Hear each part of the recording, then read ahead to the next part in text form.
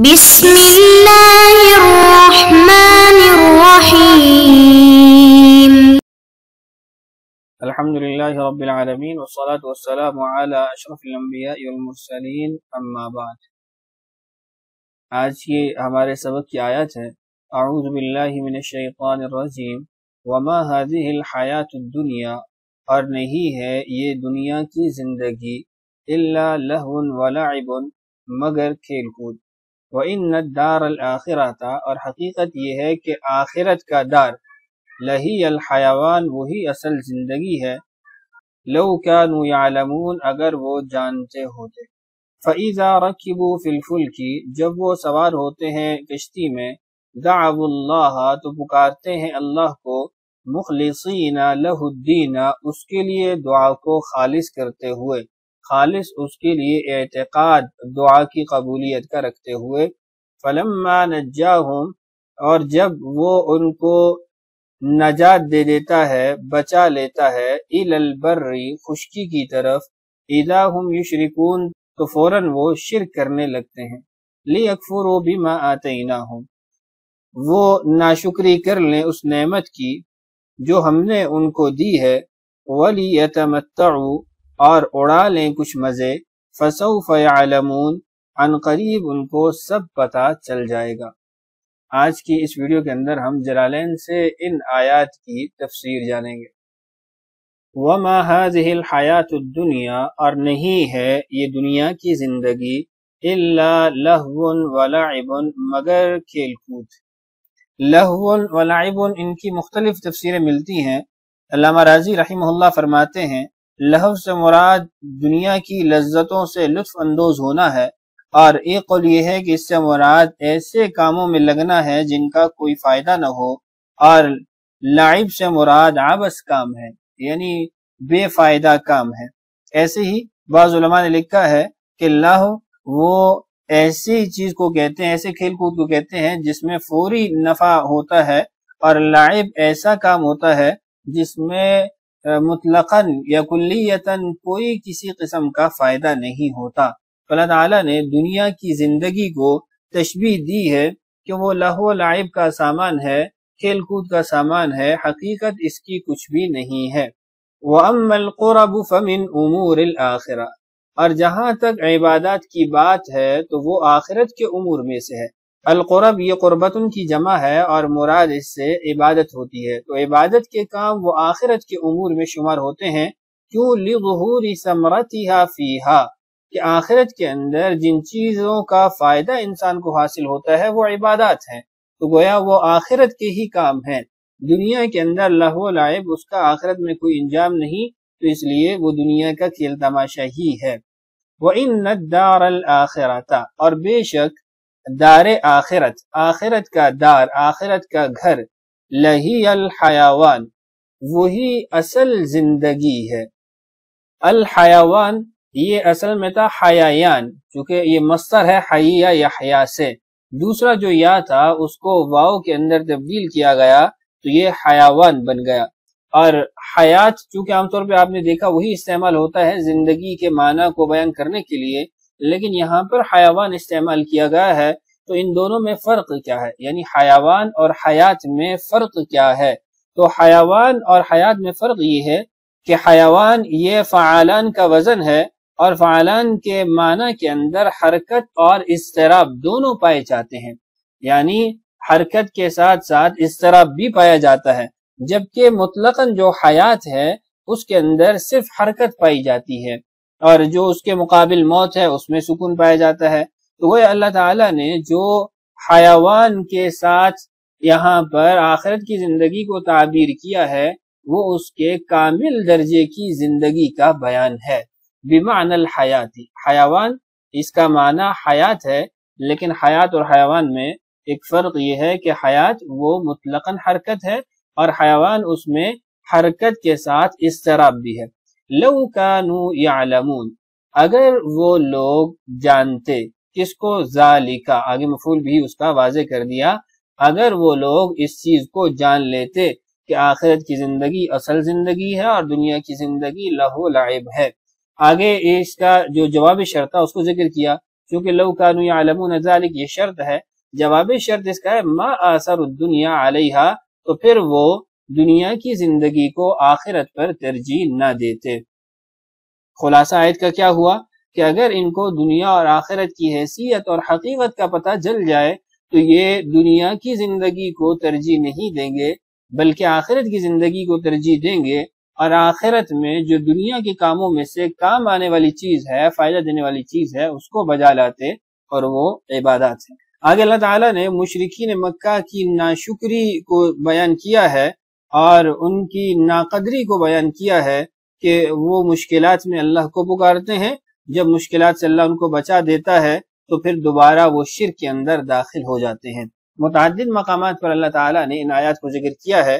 تیرہویں پارے کے اندر بھی آپ کو ملیں گی اور سے پاروں کے اندر بھی آپ کو یہ آیات مل جائیں گی۔ یہاں اس آیت کو ہم پڑھ لیتے ہیں۔ فعیزہ رچیبو جب وہ سوار ہوتے ہیں۔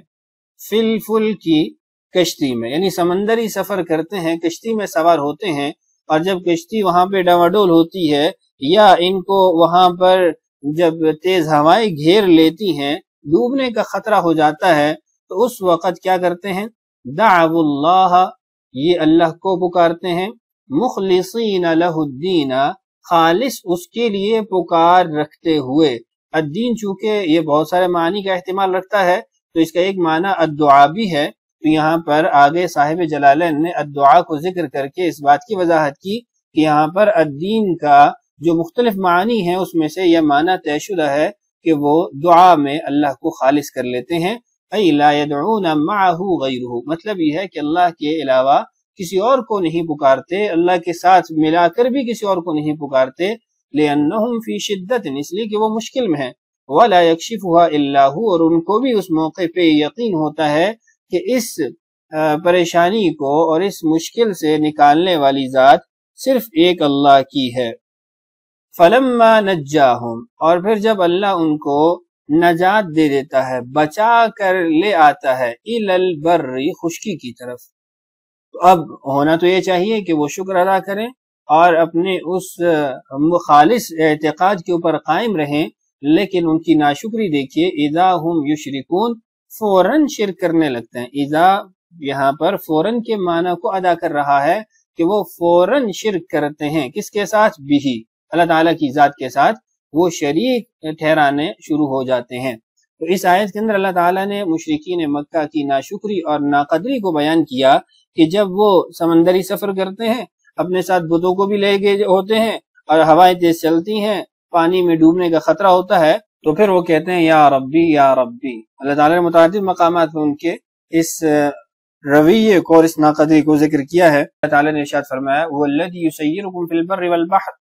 حتى إذا كنتم في الفلك وجرين بهم بريح طيبة وفرحوا بها جاءتها ريح عاصف وجاءهم الموج من كل مكان وظنوا أنه محيط بهم دعوا الله مخلصين له الدين لئن أنجيتنا من هذه لنكونن من الشاكرين فلما انجاهم اذا هم الارض بغير الحق۔ تو اس طرح اور دیگر مقامات پر بھی اللہ تعالیٰ نے ان کے اس رویے کو ذکر کیا ہے۔ آگے دیکھیے لیکفروا بما آتیناہم ان کا یہ کام اس لیے ہوتا ہے کہ جو ہم نے ان کو نعمت عطا کی ہیں، اس کی وہ ناشکری کرے۔ یعنی یہ ان کو توبیخ ہے کہ من النعمتی ہم نے جو ان کو نعمتیں دی ہیں، وہ اس کی ناشکری کرتے ہیں اور اس لیے کرتے ہیں کہ ہم نے ان کو بچا لیا تھا۔ یعنی ان کو شرم دلائی جا رہی ہے، ان کو توبیخ کی جا رہی ہے کہ تمہارا یہ عمل کس قدر گرا ہوا ہے۔ ولی اور اڑا لیں یہ کچھ مزے۔ باجتماعهم على عبادت الاصنامی اور ان کے یہ مزے اڑانا، یہ جو ناشکری ہے، وہ اس اعتبار سے ہے کہ وہ جمع ہو کر بتوں کی عبادت کرتے ہیں۔ وفی قراءت اور یہ قرآت کے مطابق، بسکون اللامی لام کے ساکن ہونے کے ساتھ اس کو پڑھا جائے گا، امر تحدید جو کہ امر تحدید کہلائے گا۔ یہ اصل میں کلمہ ولی ولیتمتعو کو واضح کیا جا رہا ہے کہ ایک قیرات کے مطابق یہ ول لام ساکن کے ساتھ پڑھا جائے گا۔ اور جب آپ لام ساکن کے ساتھ پڑھیں گے، تو گویا یہ امر کا سیغہ ہے۔ واؤ کی وجہ سے اس کے لام کی جو کسرہ ہے وہ اب نہیں پڑھی جائے گی، تو لام کی کسرہ جب ختم ہوگی تو اس کو ساکن کر دیا جائے گا، تو یہ ول ہو جائے گا۔ لیکن اس پہ اشکال ہی ہوتا ہے کہ اللہ تعالیٰ ان کو کیسے اس چیز کا حکم دے سکتے ہیں۔ حالانکہ اللہ تعالیٰ کی ذات حکیم ذات ہے، با بلند و بالا ذات ہے، تو وہ اس غلط کام کا حکم کیسے دے سکتے ہیں؟ تو اس کو اس اعتراض کو یا اس اشکال کو دور کیا گیا، امر و تحدید کہ یہ جو حکم ہے، یہ جو سیغہ امر ہے، یہ تحدید کے لیے ہے۔ یہ ان کو ڈانٹنے کے لیے ہے۔ جیسے کہا جاتا ہے عمل تم جو دل کرتا ہے وہ کرو۔ مطلب یہ ہے کہ بعد میں تم سے پھر اس کا حساب لیا جائے گا، پوچھا جائے گا۔ فسوف يعلمون عن قریب وہ جان لیں گے۔ کیا جان لیں گے؟ عاقبت ذالک، اپنے اس رویے اور اس ناقدری کا انجام۔ کہ وہ کیا ہونے والا ہے، یہ ان کو بعد میں معلوم ہو جائے گا۔ اس اگلی آیت کے اندر اللہ تعالیٰ نے قریش مکہ کے، کفار مکہ کے ایک جھوٹے عذر کا رد ذکر کیا ہے۔ ان کے ایک بہانے کا جو رد ہے، اس کو ذکر کیا۔ اور آپ اس عذر اور بہانے کو بیسویں پارے کے اندر سورہ قصص کی آیت نمبر ستاون میں پڑھ چکے ہیں۔ وقالوا ان نتبع الهدى معك نتخطف من ارضنا یہ وہ لوگ یہ کہتے تھے کہ اگر ہم آپ کے ساتھ ہدایت کی پیروی کریں گے تو ہمیں اپنی زمین سے کوئی اچک کر لے جائے گا۔ تو ان کا یہ جو ایک جھوٹا عذر ہوتا تھا، ایمان نہ لانے کا، اس کو اگلی آیت میں اللہ تعالیٰ نے واضح کیا کہ تمہارا یہ جھوٹا عذر، یہ غیر مقبول ہے۔ کیوں؟ اولم یارو کیا وہ لوگ جانتے نہیں؟ یارو کا مطلب آگے صاحب جلالہ نے لکھا یعلمو کیا وہ لوگ جانتے نہیں؟ انا جعلنا، کہ ہم نے بنایا۔ کس کو بنایا؟ بلدہم مکہ مکہ کو، ان کے شہر مکہ کو ہم نے بنایا۔ کیا بنایا؟ حرمن آمینن ہم نے اس کو ایک پر امن حرم بنا دیا۔ وَيُتَخَطَّفُ النَّاسُ مِنْ حَوْلِهِمْ۔ حالانکہ ان کے ارد گرد جو لوگ ہیں، ان کو اچک لیا جاتا ہے۔ قتل و سبین یعنی مراد یہ ہے کہ ان کو قتل کر دیا جاتا ہے یا قید کر دیا جاتا ہے دونہم ان کے علاوہ۔ یعنی یہ جو حرم کے ارد رہنے والے ہیں، ان کے علاوہ دیگر جو عرب ہے ان میں قتل و غارت ہے، قید کرنا ہے، وہ کثرت سے ہے، اس کے باوجود ان کے اندر یہ چیزیں پائی جاتی ہیں، یہ قلت میں ہے، اس کے باوجود ان کو اللہ تعالیٰ نے امن دیا ہوا ہے۔ تو جب اللہ نے ان کو حالت کفر میں حرم کی وجہ سے امن دیا ہوا ہے کہ لوگ ان کی عزت کرتے ہیں حرم کے تقدس کی وجہ سے ان کو بھی تقدس دیتے ہیں، ان کو چین کی زندگی حاصل شدہ ہے، تو پھر یہ اس کے باوجود ناشکری کرتے ہیں۔ افا بالباطلی کیا پھر بھی یہ لوگ باطل کے ساتھ یا باطل پر؟ باطل سے مراد کیا ہے؟ الصنم بت کیا پھر بھی یہ لوگ باطل پر یعنی الصنم بت پر یؤمنون، ایمان لاتے ہیں؟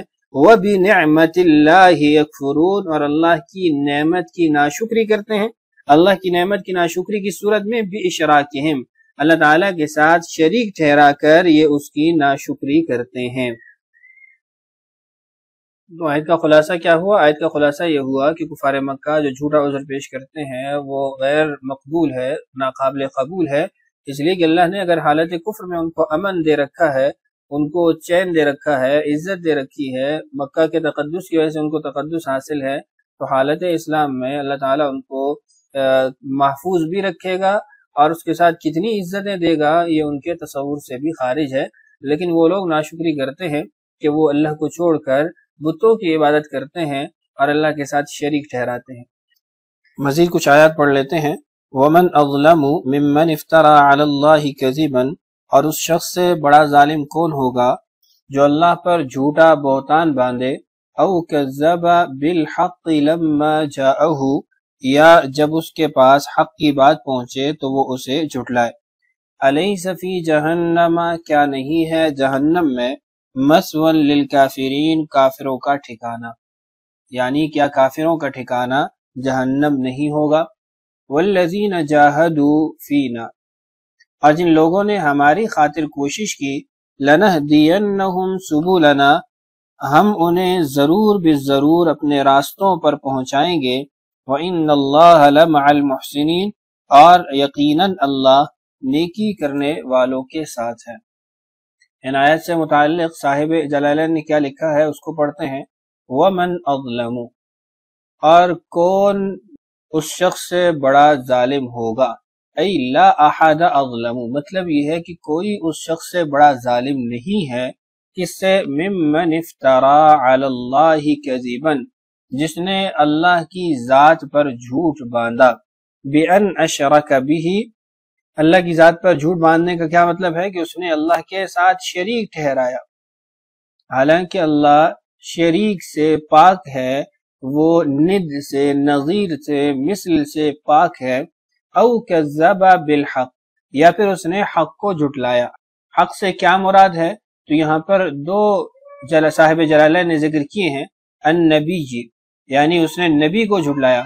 اول کتابی یا قرآن کو جھٹلایا، لما جاءہو جب وہ اس کے پاس آیا۔ علیہ صفی جہنم، کیا نہیں ہے جہنم؟ مسون ٹھکانہ۔ مسون کا ترجمہ لکھا، مأون ٹھکانہ، للکافرین انکار کرنے والوں کے لیے۔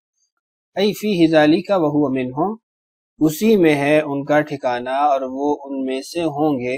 یہ دراصل اس بات کی وضاحت ہے کہ علیسا یہ استفام تقریری ہے، کیونکہ نفی اور استفام جب اکٹھے ہو جائیں تو اس سے اس بات ثابت ہوتا ہے۔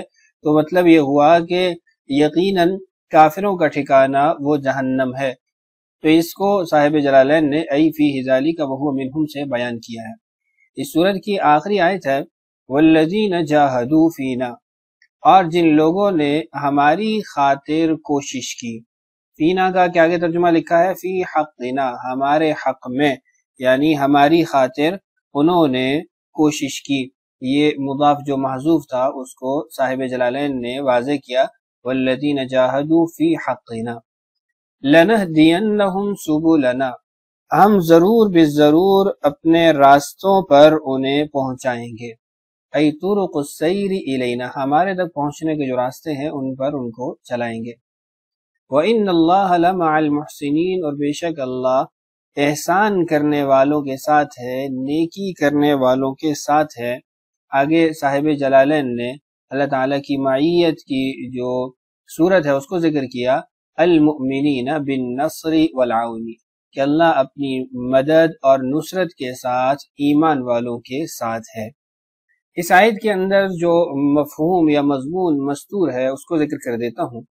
وہ یہ ہے کہ والذین جاہدو فینا یہ جاہدو، یہ اصطلاحی جہاد اس سے مراد ہے یا اس کا عمومی مفہوم اس سے مراد ہے کہ ہر وہ کوشش جو اللہ تک پہنچانے والی ہو، اللہ کے دین کی محنت کے لیے ہو، وہ جہاد کہلائی۔ تو اس کا جواب یہ ہے کہ یہاں پر یہ کلمہ اپنے عمومی مفہوم میں ہے۔ عمومی معنی ادا کر رہا ہے۔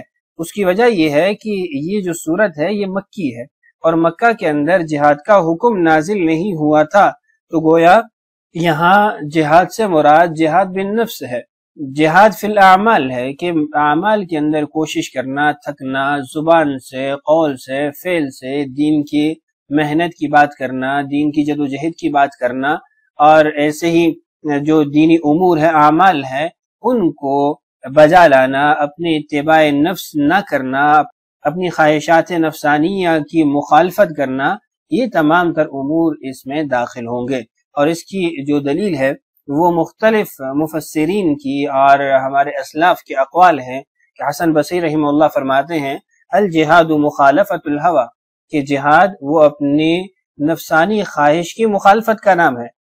ایسے ہی فضیل بن عیاض رحمہ اللہ فرماتے ہیں والذین جاہدوا فی طلب العلم لنہدینہم سبل العلم به۔